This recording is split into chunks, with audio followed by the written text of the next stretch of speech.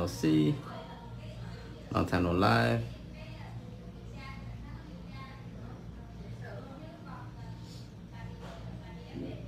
Just back again. Do a quick live for you guys. Doing a birthday set. We're gonna do a nice nude. I'm gonna do um old English. Um, old English colors. Uh, old English letters. With the birthday. Uh oh. I can't see comments on this? Okay, there we go. Sorry, to get started soon. And I'm actually gonna use a size 10 brush today. Um, hey, there you go. I can see you guys now. I'm actually gonna use a size 10 brush today. Fun, fun. Um, for you guys to see that what a size 10 brush can do. Since a lot of people think that you need bigger brush to do longer nails, but I'm gonna do a long set with um, a 10 brush. So hope you guys enjoy. Um, this is my 10 and it's a crimp brush. Right here. Um, it's a crimp brush, so it's gonna have a little bit of crimpness to it. So let's get started here. How's everybody doing today? Me cut this out. So we talked about brush sizes the other day on the Q&A. So now we're gonna show you guys how to do long nails with a tiny brush. Well, not so tiny. This 10 brush is actually pretty good, decent size here. We're gonna use is nice, kind of like a clear peachy nude. So with this brush, I'm not gonna even worry about my ratio. I'm just gonna remove everything. I- I'm just gonna go right in really wet because I want a big bead. So I'll be able to pick up a big bead. Thing about these smaller brushes, it's a lot of control, guys. Control these brushes are pretty crazy. And then it's smaller, so it gives you a little bit more ability to control the um, the brush pretty much. Shaping wise, big control factor here. Since it's smaller, it's gonna be a little bit more stiff, so you'll be able to like mold the powder a little bit quicker than a bigger brush. Only reason I say this is because the bigger brush is a little bit softer, so you won't be able to get that crispness. Remember, the smaller size of the brush, the less monomer you can pick up on the brush. That's important too. So that's why I don't even try to remove any monomer. When I go into the monomer, I just come out and then I have, make sure I have enough monomer on there so I can pick up a, you know, a bigger bead. As you see, the smaller brush gives the ability to pick up the bead, probably like a right size bead every time because a bead that may be too big, using a bigger brush is a perfect size here, using a smaller brush.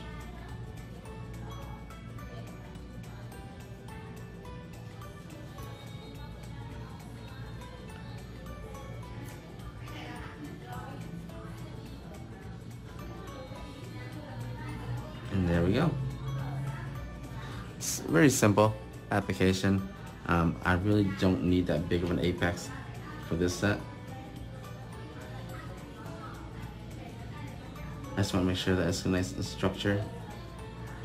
This is about a, I want to say long, not XL. Um, it's not full tip length. Um, it's about medium length. So um, me long to XL. So I wouldn't say this would be an XL set.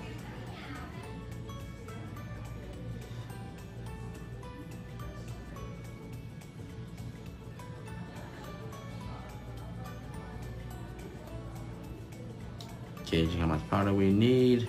Just bring up just enough, you know. I like doing the two bead method a little bit better than doing one bead method. Sometimes because I get a little bit more control of the powder.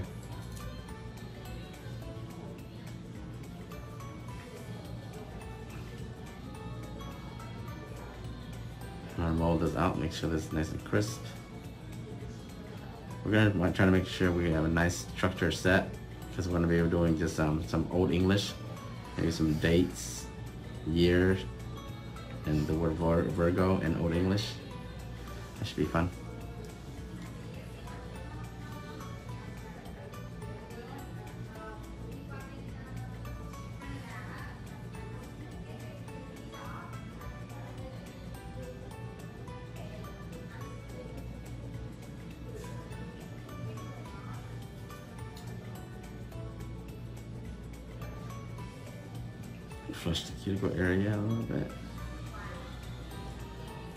Studio's a little bit warm, so of course we're gonna dry up a little bit faster.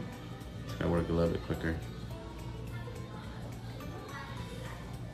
If you guys haven't signed up for the master class yet or the advanced art class, it's in Chicago. It's officially available for you guys to sign up.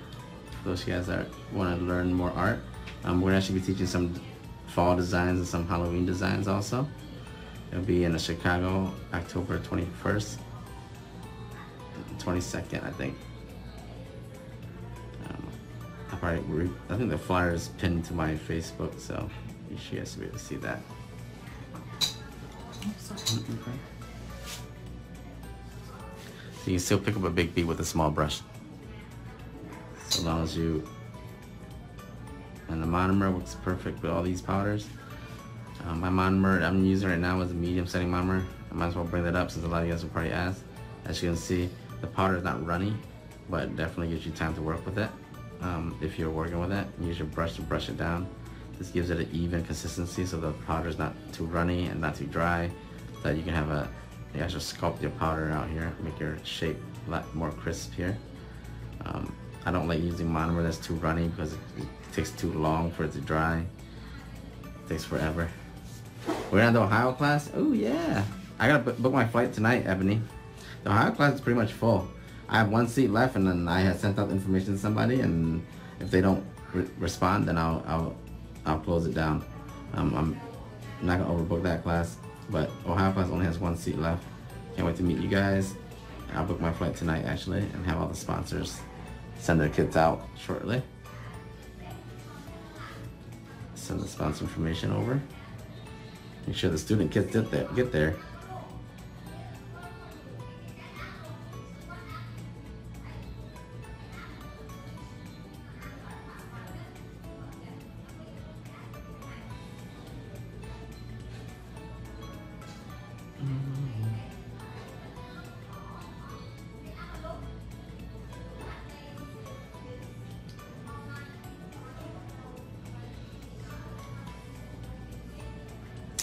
Probably announce the Virginia DMV class probably tomorrow. I already got the location. I just need to figure out a date and then I'm gonna post it up and see uh, everybody from the DMV area for the Salon Ready class. But the Chicago class is gonna be a fun class. It's gonna be a class with Voltino and Vina. We're only teaching design there um, for the ones that need the design only. But my Salon Ready class is for people that need acrylic still. I focus on acrylic and dip um, make sure that you are salon ready in a sense. Um, very successful class. I already had it in Orlando here, and I'm gonna take it to other states also.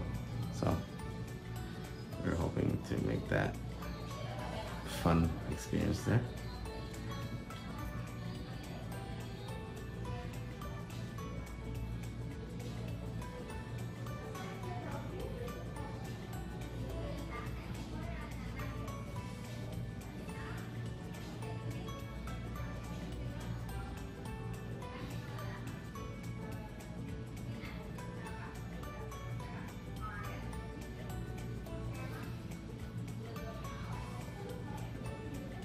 Dallas again. I haven't been to Dallas, but I will be coming to Dallas actually. Um, close to Dallas, an hour away from Dallas maybe. I have the problem is whenever I host a class, I gotta make sure that I have the location and I know somebody at venue or something like that. That's the most important thing. I can host classes anywhere, guys. Just having the right venue, the right location, know the right people there, and also interest is also very important. So yeah, I mean, the results from my salon class is, you know, I even my students say no, it's, it works. Those, all my students are posting up all their stuff in the group chat, and I'm like, wow, I'm so proud of them. A lot of them are working in salons right now. Almost done with the whole set here. That's, I like this nude. It's two what, 193 by Chisel. It's almost like a light, kind of like a sandy nude. It's not bad.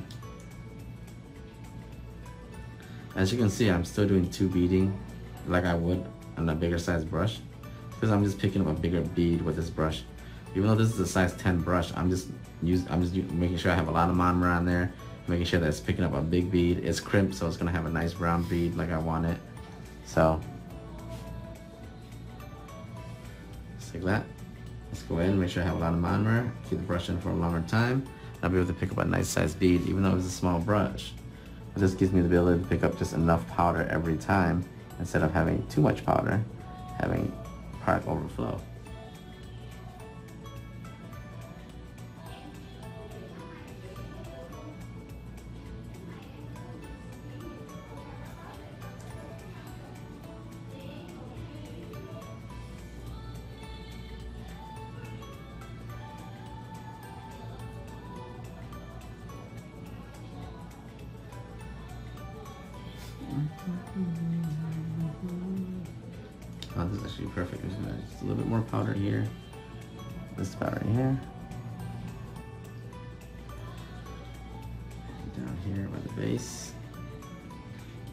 Blend up so that I don't have to do too much work with my hand filer.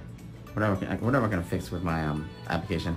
So one hand application finished probably less than about, I want to say 10 minutes there.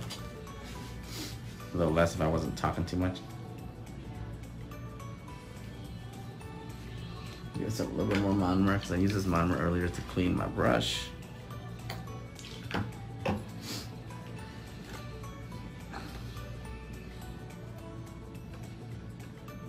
Dallas is a big, big spot. What new set am I doing? I'm just doing a nice nude. Um, and then I'm gonna do, um, it's a, a Virgo set. So birthday set kind of. I'll probably do some Old English by hand. Old English letters by hand, like um, the word Virgo and also the Old English numbers. It's also a nice touch.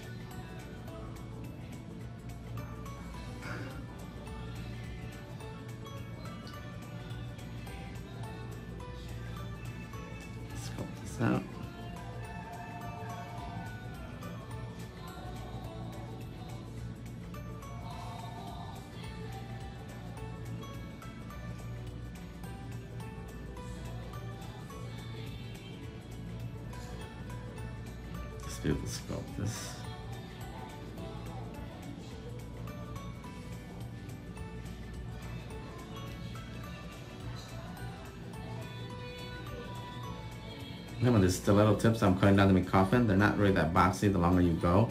Sometimes you gotta do a little bit of finessing and you gotta sculpt that tip out. See that? I wait the powder dry and I'm just sculpting, making sure I'm making the corners nice and square. Because um, it's not gonna do that for you.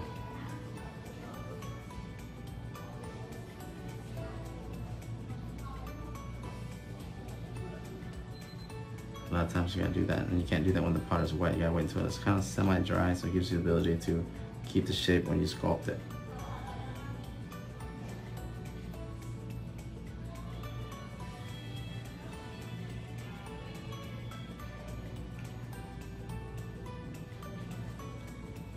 Mm-hmm. It's almost imperative to shape when you're doing application. That'll save you so much time later, I promise you guys. Always told you guys, shape when you do application because it'll save you so much time later. So if you guys are taking a long time, you're taking more than 15 minutes to shape, then you definitely need to focus more on the shaping when you're doing your application. Um,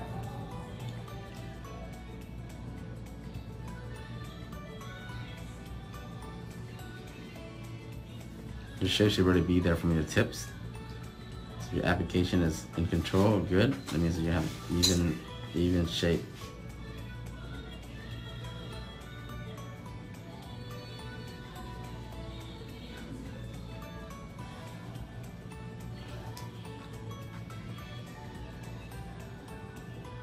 Just use my brush to shape. The 10 brush definitely gives me ability to shape a little bit better than most.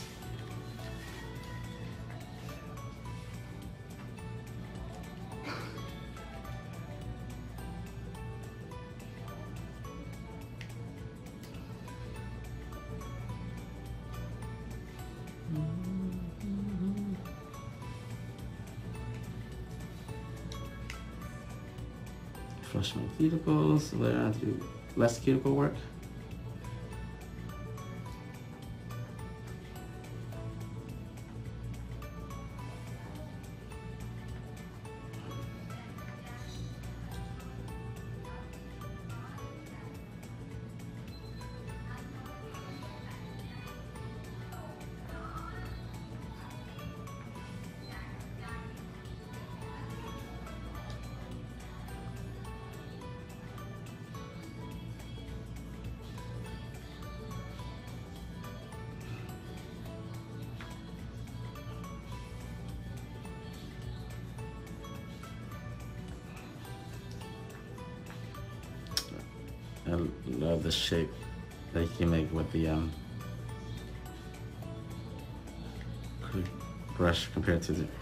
Later when you see me hand file I really when you see me shape with the, the filer you don't see me I don't file that much to be honest with you um, at the end of the day I don't file that much I don't like spending too much time filing with the, the filer it, it actually makes the shape worse if the longer you you spend onto it I know a lot of you guys probably sit there and like, oh, I love my shape, and the more you file, the more it gets weird. That literally happens easily.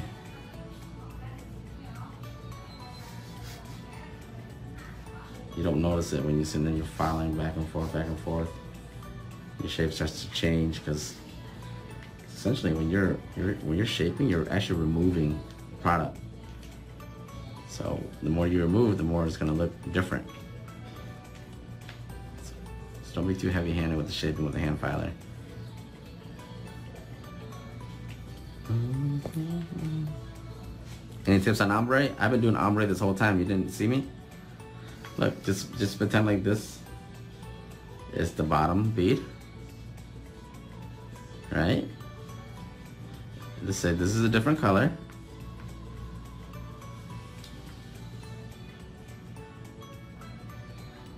Your base color here. And then when I do my second bead, just pretend like it's another, it's a, it's a complete, uh, it's the, the cover powder. That's your ombre. The whole time I've been doing the ombre, you didn't see it. It just has happen to be one color. That's why you don't see the ombre. But if about to use a different color, you will see the ombre right away. See, look, now I get my ombre bead. Place some ombre bead here. And the next thing I'm gonna do is I'm gonna blend the bead in. There you go, I just did an ombre. Just happens to be just one color, that's all. Now if you did this with two colors, you would see an ombre.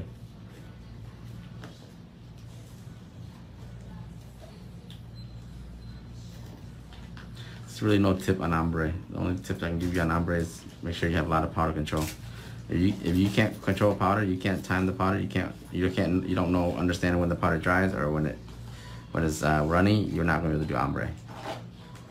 Didn't even notice? Yeah, I know. I didn't hear you answer the question live. Person keep saying live was paused. Live was paused. Hmm. Is it because of the music? Kayla! Bật nhạc xuống giùm anh. Might be the music in the background. I know they're always, I think Ariana Grande comes on Facebook is so in their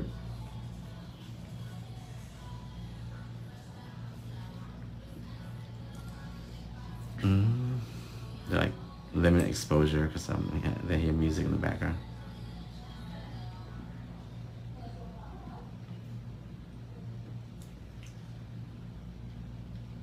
Facebook is in their feelings when they see, they hear music.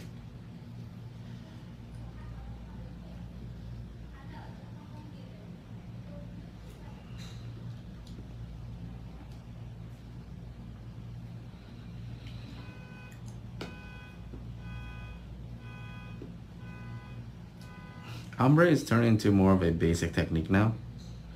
I mean, before it used to be considered a design, but now it's, I think it's pretty basic because um, very simple technique to do. A lot of people that are beginners can actually do ombre as long as they know the technique and they understand and control the powder.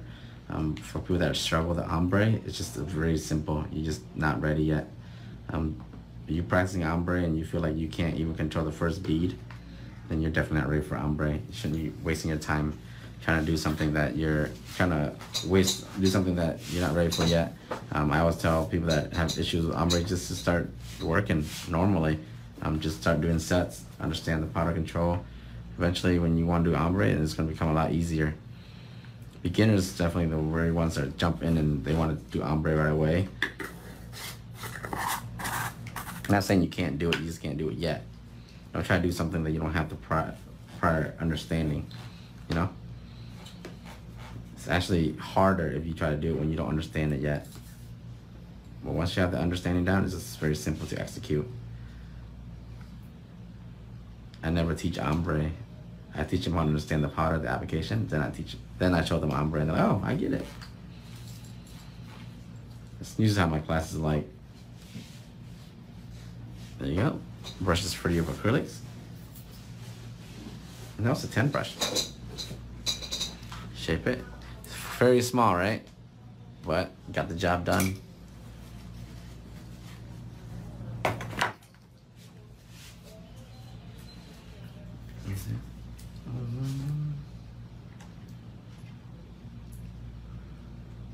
No, I, I yeah, I have a, I have plenty of monomer back in stock, uh, Sarah. Sorry, it's in the it's on the website.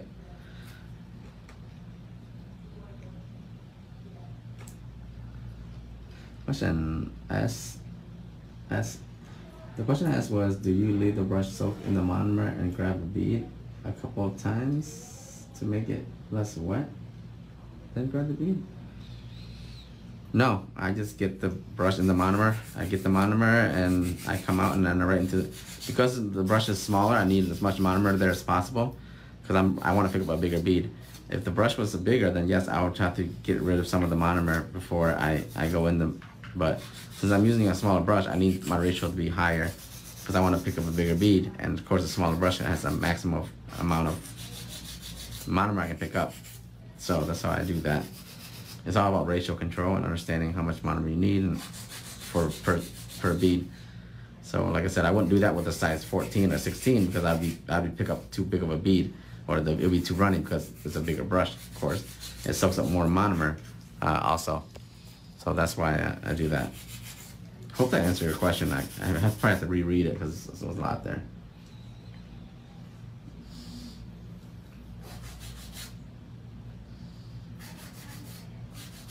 Mm-hmm. This Virgo design is actually pretty simple. It's just using old English letters. So I make sure I have them set nice and structured and then go from there. Gonna actually match your toes perfectly. It's like a flesh nude.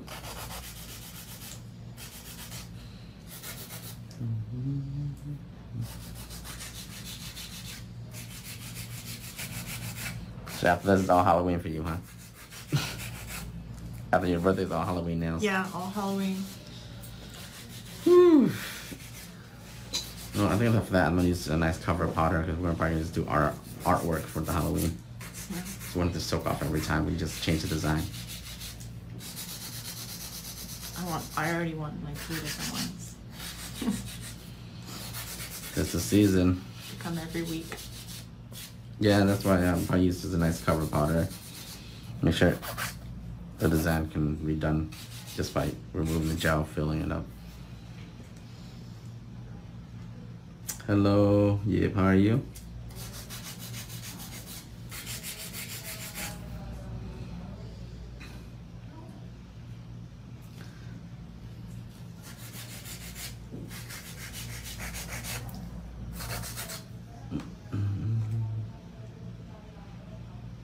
That's perfect answer? Perfect. Okay, good.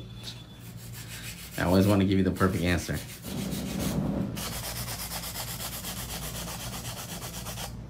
Well, briefly I read that and I realized what you, you were asking. And it makes sense. It's a big confusion for a lot of nail techs, you know. And there you guys go. It's simple. It's just very quick and see the shape.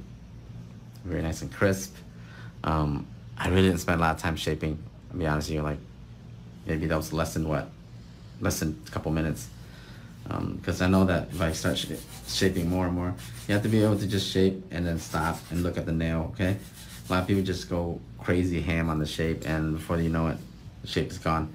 And as long as you do proper application, and as long as you shape pretty good, um, while you do your application, you're golden. The shape's already there. You know, why break something that's not broken? You know. I've seen people will sit there with a perfect shape and they just keep going in on it because they they they feel the need to shape. Don't ever feel the need to shape, okay? Try to resist the urge to shape. yes, listen to me. Try to resist the urge to just go ham with this with this hand filer, please.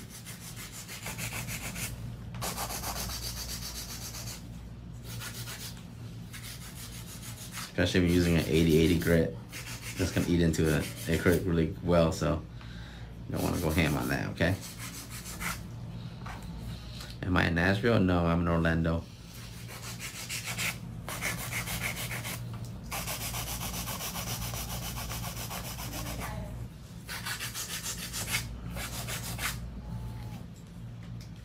I've been partially retired from doing nails and just teaching and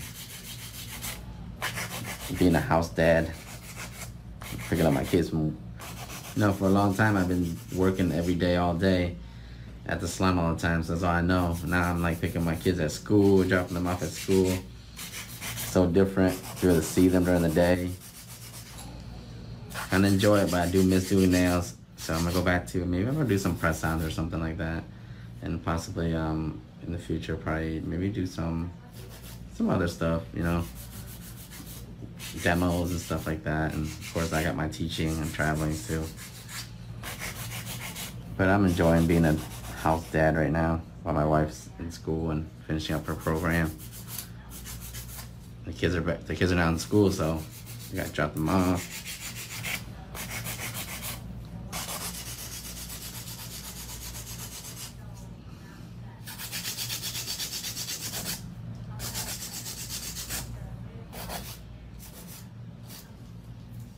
there we go. That's it. That's all. That's all she wrote. That's all she wrote, guys. Just check cuticle to cuticle. Make sure all the nails are the same length. Um, it's important. Checking cuticle to cuticle because really you don't know how big the nail bed is. Sometimes some one nail is longer than the other. Trust me, when you have precision, every nail the same length. When you take a picture, it just it just looks beautiful. Like I mean, it's it's amazing, guys. Like that's all she wrote, guys. That was shaping, I guarantee you that was less than 10 minutes. He run in my mouth actually. What time. And of course my favorite drill bit, the sharp, fine, five and one, cross cut. How hard is it managing a salon? uh, owning a salon is very hard. It ain't easy. It's not for everybody. I had a live on that. Um, not everybody's ready for it. Financially, mentally. Just imagine you're probably going to be spending 60, 70 hours at, at least at the salon. You got no life, six, seven days a week, open and close.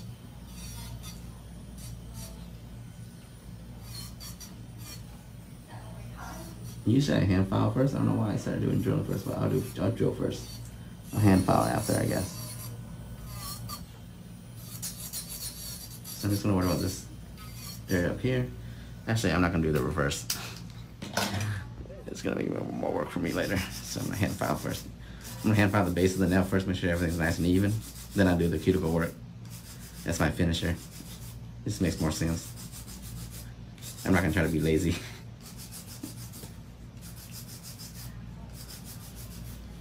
Usually 100 100 grit. Be perfect here. You don't want anything too gritty because you don't want to, if you have perfect application, you don't want anything to eat into it. That's why people do hand filing. It gives you a nice, nice uh, even surface. This just goes up to just uh, the apex area, the cuticle area. After that, you can use a drill.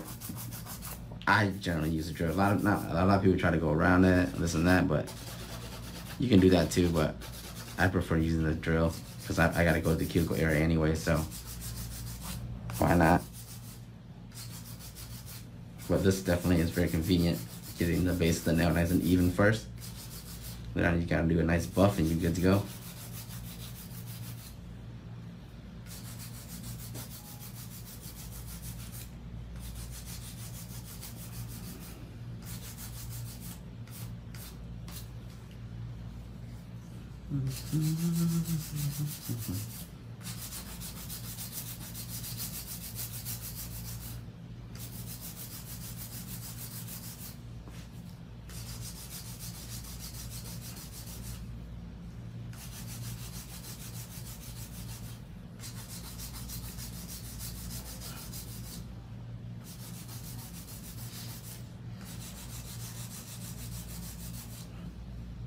Just like that.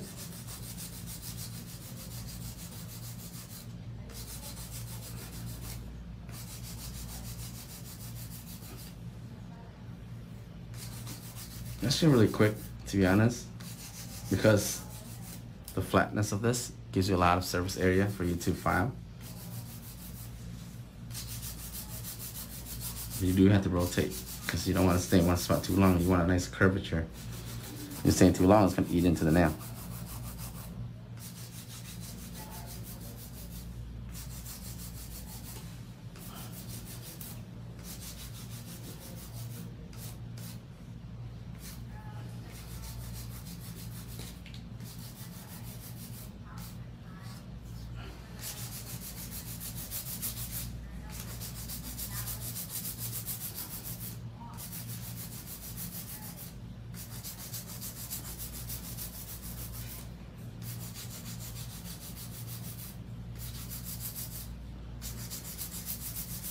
Because you'll know any, when there's unevenness, you'll see it in the nail. And you'll be able to focus on certain spots. When it's a little bit lighter or shinier, means the surface is uneven. Because if you put your hand file like this, you want to make sure everything's even. It's a good technique to know for a lot of people that are going to nail school and they're going to be taking their practical. You'll be able to, um, they won't let you use a drill in your in for the test. So knowing how to hand file definitely important. They probably teach you this in nail school also. I wouldn't do this if the nail was shorter because there would be no point.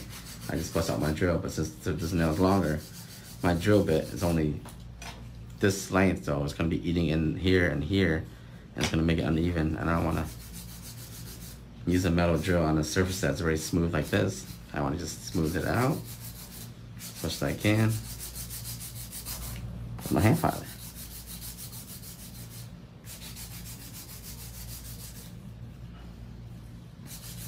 Beautiful. Just like this should be done with application and everything in less than an hour. As long as you have all the step process uh, good. So yeah, application, shaping, filing, cuticle work, everything should be under an hour. Hours like a max. I don't care what length nails you're doing, XL, triple XL. Um, at the end of the day, if your application is good, you do taking all the proper steps, your steps should be done in less than an hour. 30 minutes is actually the prime. Finishing a set in 30 minutes is actually normal. You should strive to see, achieve that. That means, I'm not saying the design and everything, I'm saying like from your application, prepping, putting on tips, drilling, all that stuff, in less than 30 minutes. You actually make more money that way. The less time you take working, the more clients you can take, the more you pay yourself per hour. It's important for nail techs to consider paying yourself per hour too. Not saying to charge clients per hour, but know your set price, how much time you take. If you're doing a set for 50 bucks, but it takes you three hours to do it, you're not, you're really making only like what, minimum wage, under minimum wage per hour. A lot of people don't understand that. They think, ah, I made 50 bucks the set. No, he didn't. It took three hours. So you subtract supplies and all that stuff. You really don't make that much. Probably made like maybe a $10 an hour at the supplies. As a nail tech, we're not here to make $10 an hour. $20 an hour is actually the ideal for nail techs. Like the base level.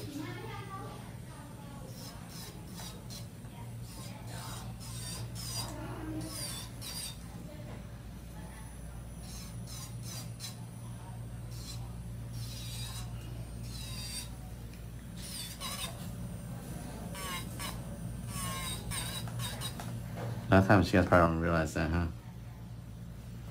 Two and a half, three hours max? Ooh. No. I would never ever take three hours in a set. Um, y- y- that's too long. You need to stay under two hours. Two hours is way too long. Under under one and a half hours is probably the average. Under an hour is like ideal.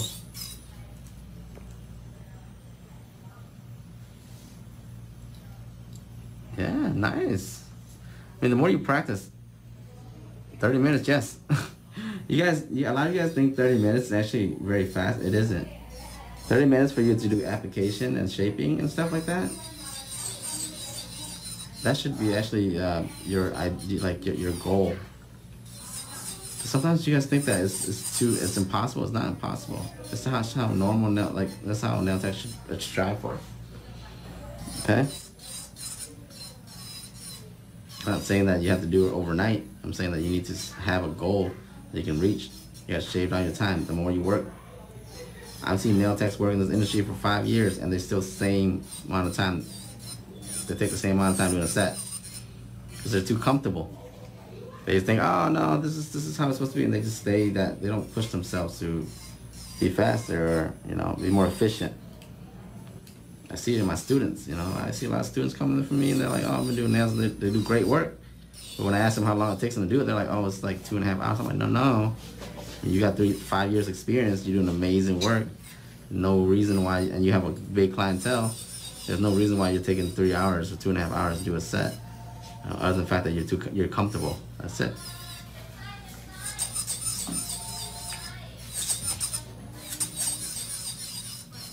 Being comfortable actually hurts you. It's nail tech in the long run.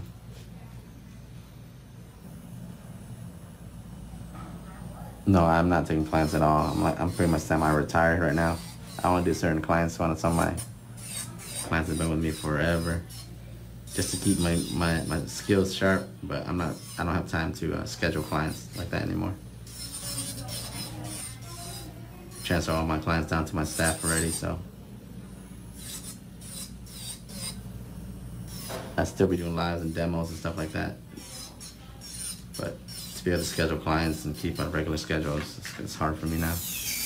And I feel bad. I want to schedule them and cancel or not be able to have s- spot for them every month or every two weeks.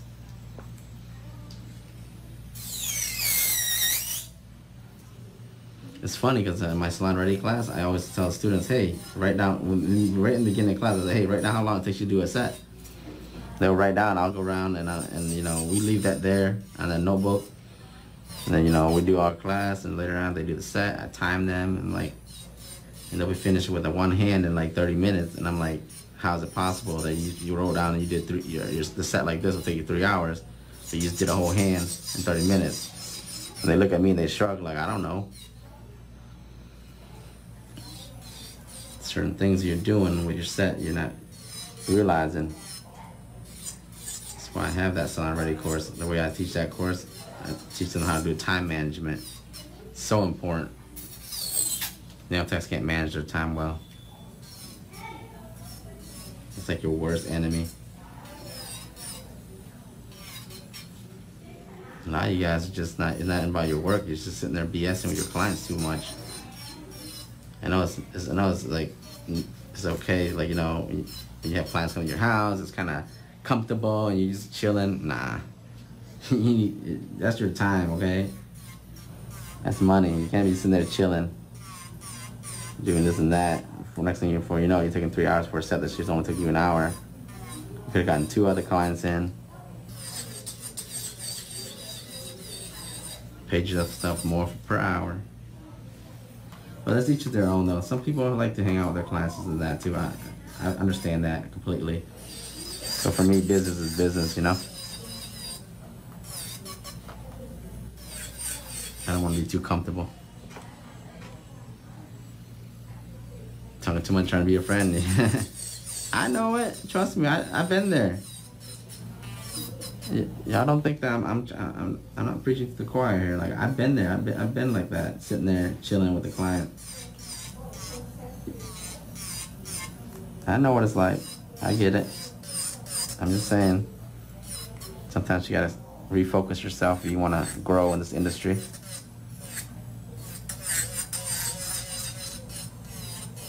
Take value in your time more. Y'all can bullshit and talk all you want when you know she takes you out for a drink or something. I don't mind that at all. When she's sitting in the chair, that's that's, that's when you're getting paid. That's when you're working.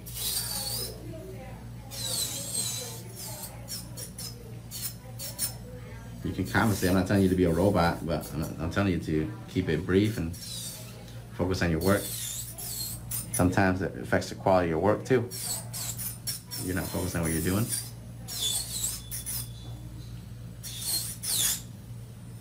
That's just my opinion, though. I don't want to tell somebody how to work on their clients, but yeah, one hand done.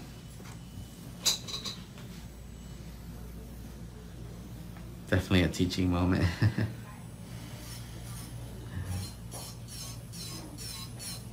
yeah, you want to listen to me? Go ahead. You know, I do. I make sense, right? Right, guys? When I tell you guys something like this, I make sense, right? Not just blowing hot air out my ass. But like I said, sometimes you just need to hear it. You know it yourself, but you just need to hear it from somebody else.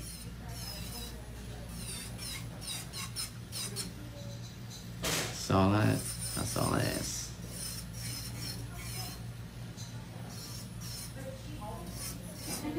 Just don't tell me I'm taking too long doing a set. And you sitting there getting the 411 on the, your whole client's love life in the last month. That's where your set time's coming. Mm-hmm. Keeping up all the gossip.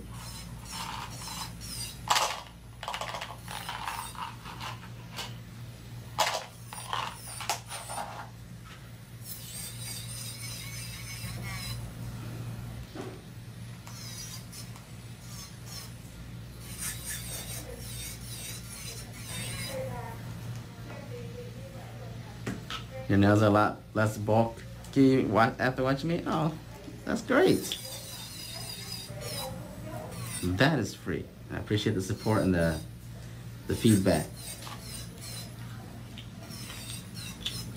There's more, you know. I yes, I'm limited to how much class I can teach, where I can teach, but the time I do spend on doing even my Q and A's when I'm answering questions at night, you guys support that. Um, even that, you know, I appreciate all the support on all the platforms, this and that, and the products, and the classes. But I, I, started doing this back in the day, just people just to watch and kind of say and you know, help wherever I can. You never know when someone just needs some simple information that will help them along their career. And that's why I do it. So I, I, re I really appreciate when people come on and tell me how much I've helped them, even though I've never like you know met them or that it, no, just from watching the videos or quotes or just uh, my content that makes the content creator like me an educator and a content creator you know it makes it worth it my, my, my time you know? I put a lot of my time out doing all these videos and all this content for you guys so when I see that it's actually helping people that, that makes it all worth it. I appreciate that. Appreciate the kind words congratulations on the less bulkier nails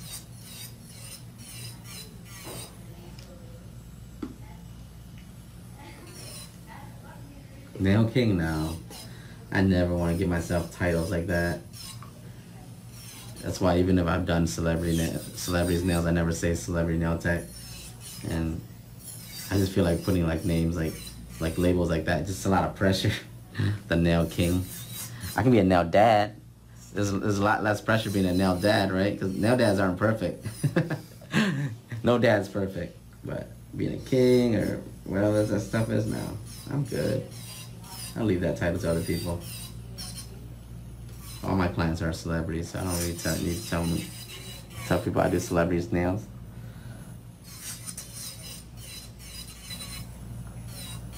A of people try to strive for that, which is awesome too, but it's not as hyped out as it, as it as people make it out to be, to be honest with you.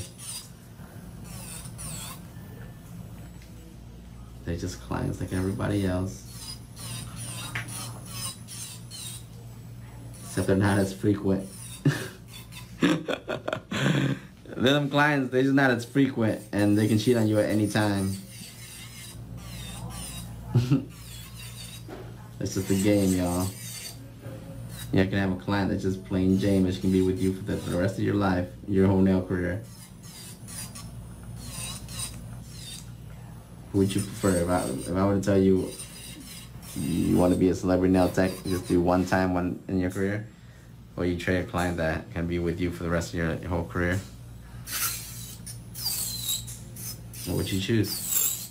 Who's gonna Who's gonna make your pot? Who's gonna fill your bank? Who's gonna get you that bag?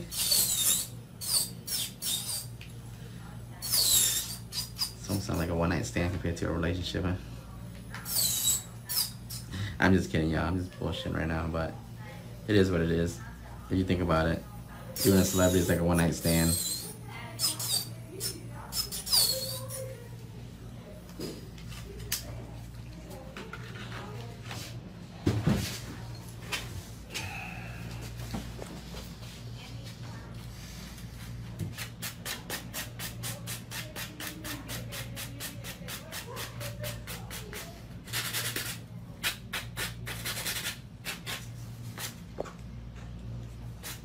Is there a safe for a bit to use the cuticle work? Um, I have the same bit that I just used right there. The one I use right there is a, a, a sharp bit, but I do have the same bit. Um, it's a safety bit version of it. But if you want a safer bit, you gotta call, look for the safety bit. Um, they're a little rounder on the edges, so you won't cut the client. But if you want, the one I use is sharp because I'm, I'm, I'm used to my cuticle work, so I can just go in with a sharp bit. Fairly easy here. That's nice. Finesse, y'all. That set's probably on. I'm pretty sure I'm at what the 48 minute mark, if not a little bit longer. But I'm definitely under an hour right now.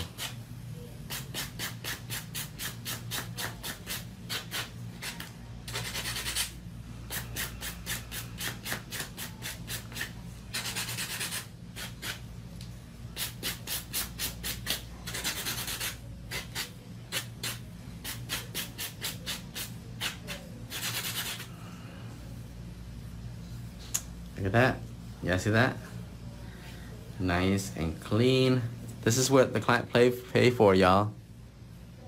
Screw the design. This client, I can she can leave like this with a top coat, matte top coat. I still charge her good money. That's good structure, okay? Good shape, good structure. It's gonna last. Okay, wash your hands.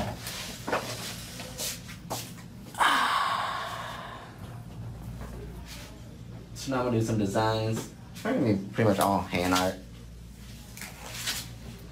47 minutes. See that? Y'all see that? I, I know how to break down my time so well that I can just predict how long I've been doing nails. Cause that's because I know how long it takes me to do certain steps. So I can pretty much ballpark everything. Um, no, I'm on my end. I don't have access to because I'm doing live. I don't have. I can't see like what my timing is, but generally when I see it, um, I can feel it basically because I know what my skill says at. I know my time management. Mm. Look at that. Nice and clean. Cuticles nice and flush. We ain't gonna get no lips there. So now what I'm gonna do is I'm gonna let this dry a little bit. And then I'm gonna do some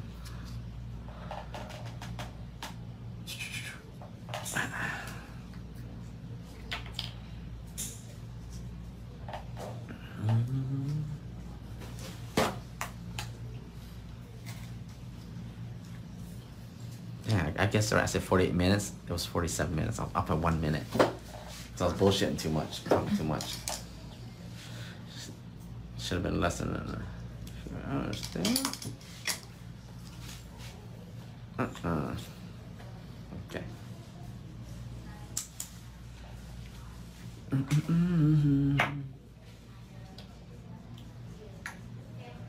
think this is acetone here. Clean up. So I'm gonna use my black gel art paint and my liner brush here.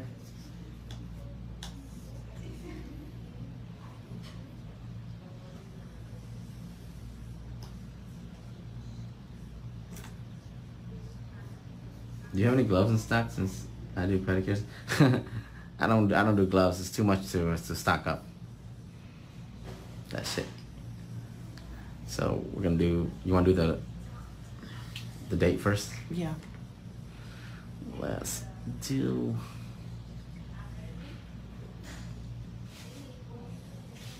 Old English numbers.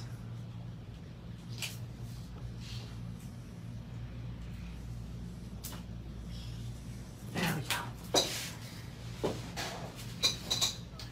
So was it 1998? 87. 1998? Yeah, 98. Okay. I didn't know you were that young. Jeez. You look older.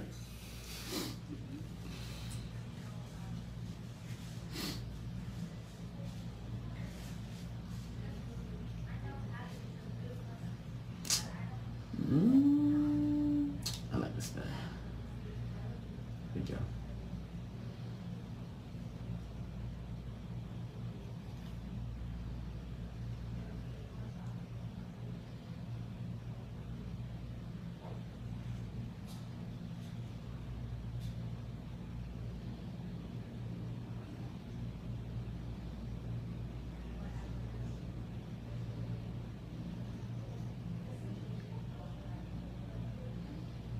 Get some English here.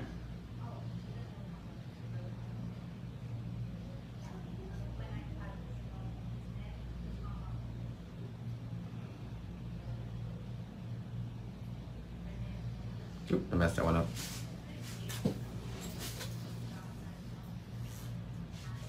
Remember, as long as it's not cured, you're good to go, okay?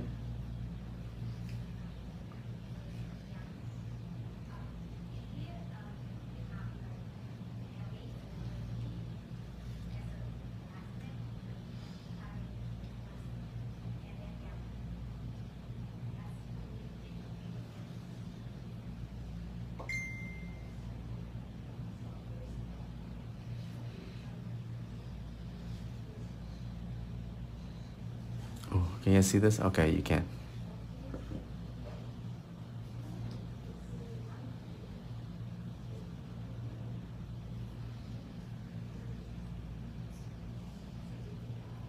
I'm using my black gel art paint, so like you can see, it's not gonna bleed out. It's just gonna stay in shape. Um, that's actually very important when you're actually doing like artwork like this. Okay.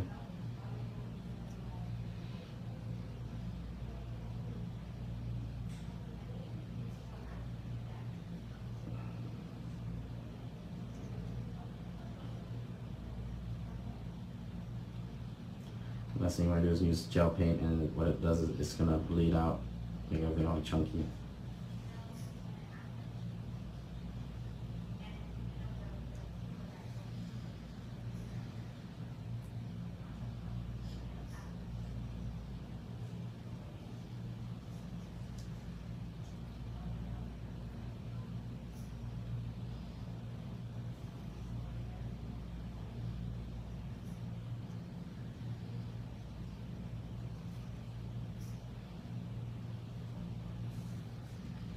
Uno, one. Nine is probably the hardest one. of course, because it's the most complex, but usually with Old English, you do the framework first, and then everything else will come into play. Um, fairly easy. As long as you do everything in cycle. Uh, do finish with that later.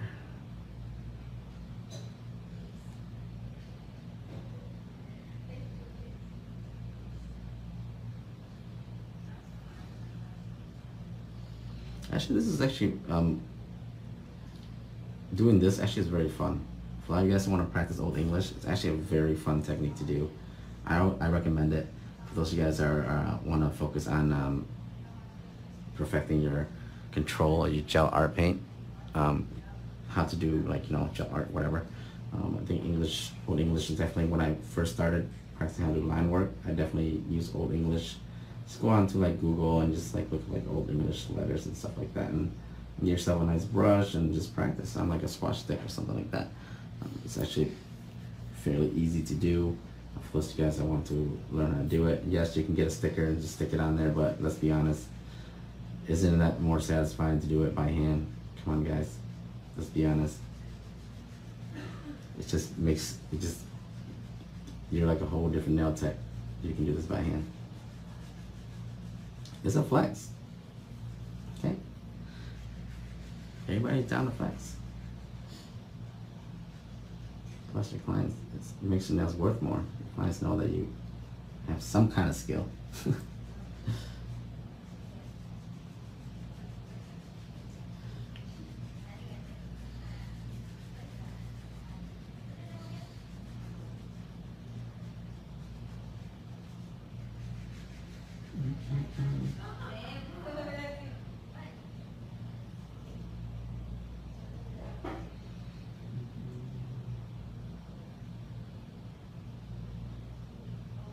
I just build a frame first, then I go through and I do everything else um, later. Don't want to try to do everything at one time. Work slow steps. Anything with artwork is always the same. Um, just the same motion. Make sure, you, make sure you plan out your next move first. And take your time. now the client's paying for your artistic ability. this is when they're paying for your artistic ability, okay, guys? So take your time, make your money. As long as it looks good, client will pay for it. I guarantee you that.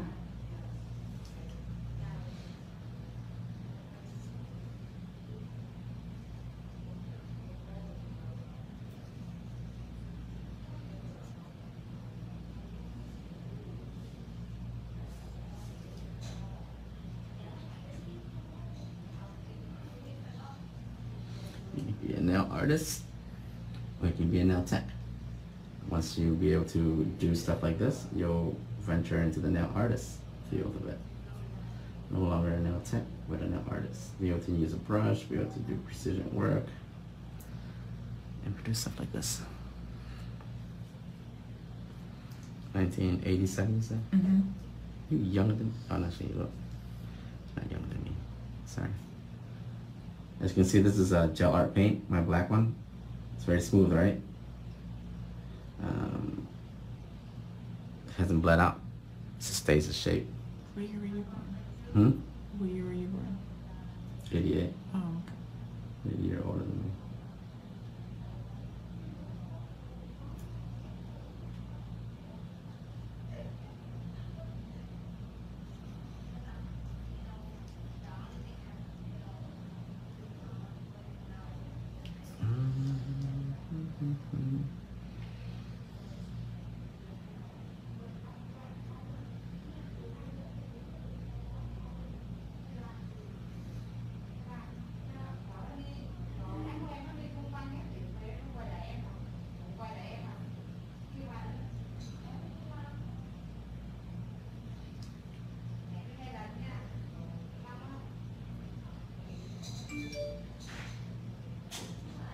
light turn off. It's been a while since it's been slow enough for the light to turn off.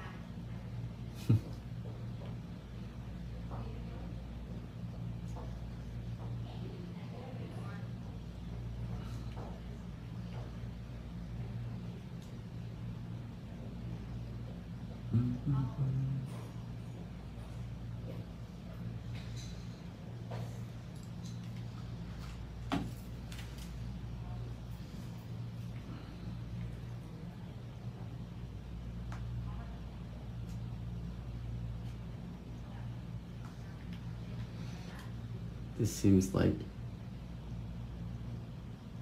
tedious work, I guess. This actually develops a lot of skill um, that you guys will need in the future for a lot of art techniques later on. Um, brush control, very important. Be able to visualize certain designs also, how to do it.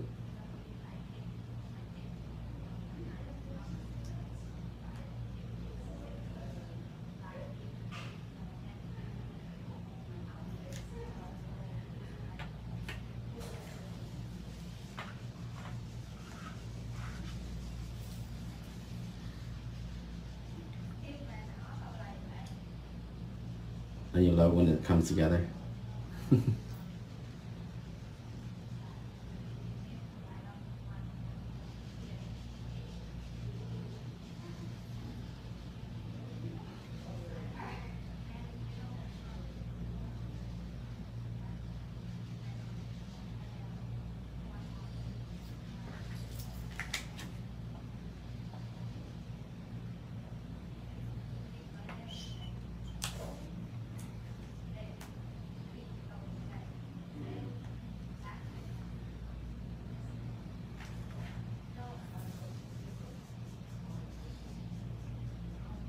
almost done here. Well, I gotta do the word Virgo too, but I'll probably do that off the live. Get my client out of here. I got something to do. I want to do the Old English on live for you guys to see how simple it is to do. Um, it's not really that hard. Once you guys practice, I don't see any reason why you can't do this. Just like how I'm doing right now.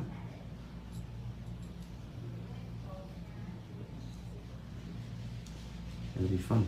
It's good practice.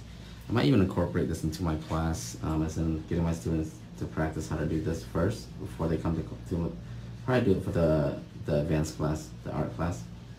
Have students practice how to do Old English to make sure they get their their um, stability down and their brush so they can do line work and stuff like that. All this is is line work and color blocking, you see?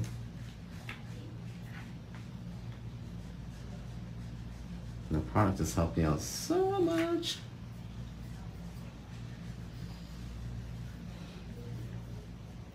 There we go.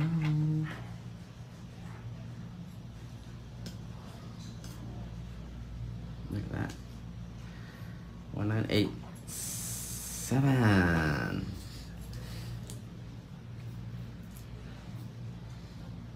Are you sure it's seven?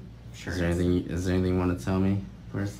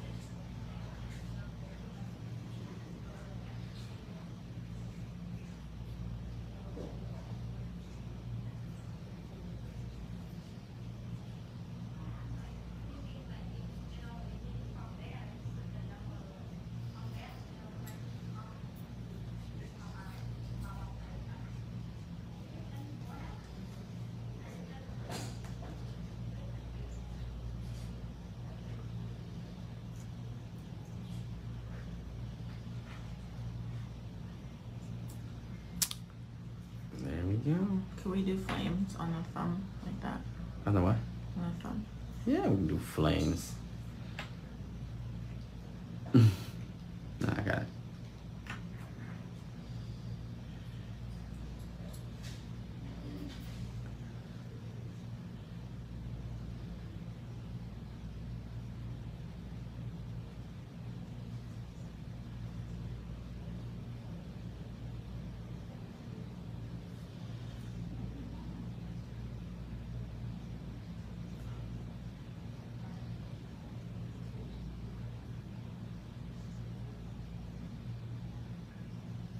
Oop, too high. Yeah. Well, I think I did too high.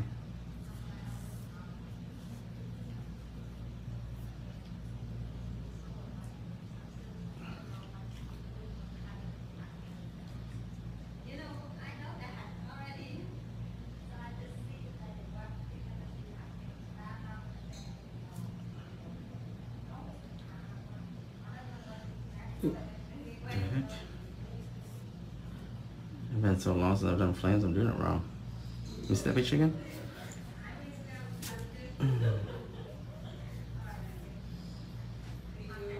Okay. Hold, hold on in front of me. You know what? I want to do that logo right there, but. You can,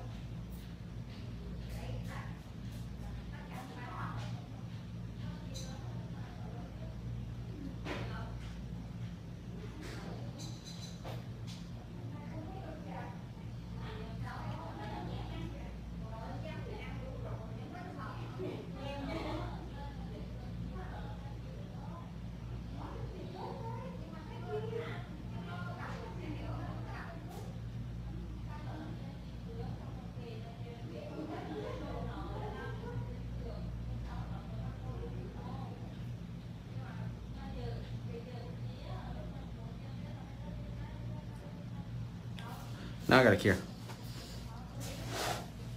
And that's it. The other side I'll do Virgo. And we top coat. Let's top coat. here.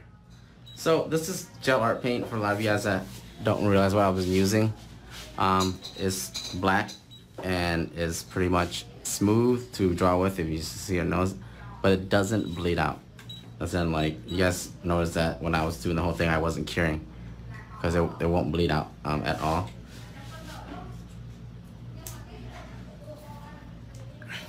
And that's what important. You can't use gel polish for that because once you start drawing with gel polish, you know what happens, right? It's a little bit longer. Let it cure.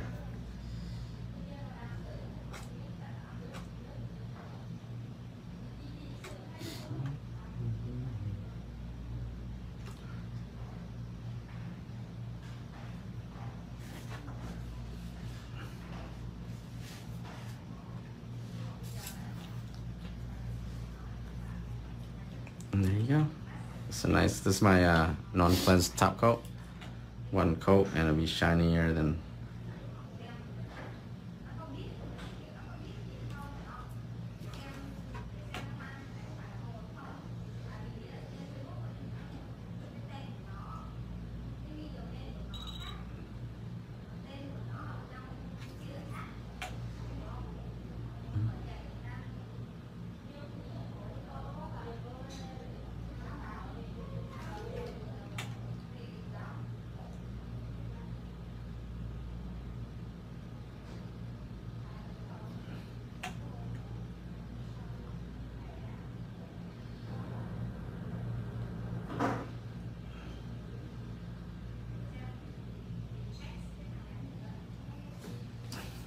Okay. What we should do over here is we should do just mm.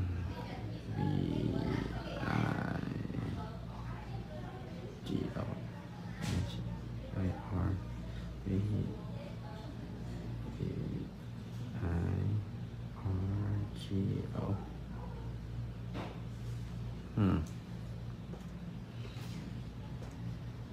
All right, guys.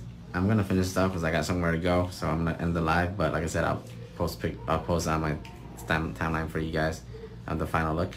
Um, but like I said, I'm gonna do the, word Virgo on here and then finish off her birthday set. I'll see you guys later. Thank you so much, and I'll see you guys tonight for possibly a Q and A. Answer some questions.